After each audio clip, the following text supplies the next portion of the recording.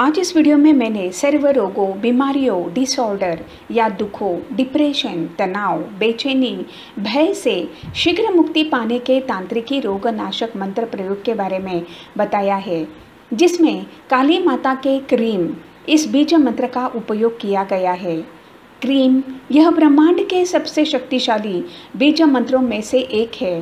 जो प्रचंड ऊर्जा निर्माण करता है और जिस उद्देश्य के लिए इसका प्रयोग किया जाएगा, उस उद्देश्य को यह शीघ्र पूरा करता है।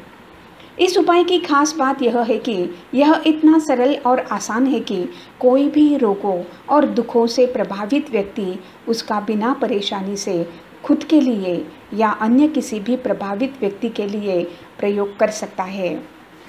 अगर आपको यह वीडियो पसंद आ जाएगा तो कृपया सब्सक्राइब करना मत भूलिए और तुरंत नोटिफिकेशन पाने के लिए बेल आइकॉन पर क्लिक करें।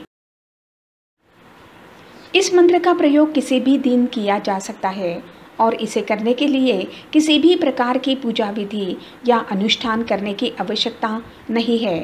साधक को एक स्वच्छ तांबे यानी कॉपर के कटोरे, प्याले या छोटे से बर्तन में स्वच्छ पीने का पानी लेना है और उस बर्तन को या प्याले को अपने दाहिने हाथ में पकड़कर क्रीम, इस बीज मंत्र को सात बार बोलकर बीज मंत्र के शक्ति से पानी मंत्र को अभिमंत्रित करना है और फिर उस अभिमंत्रित पानी को पीना है या दूसरे किसी भी प्रभावित व्यक्ति को पीने के लिए देना है।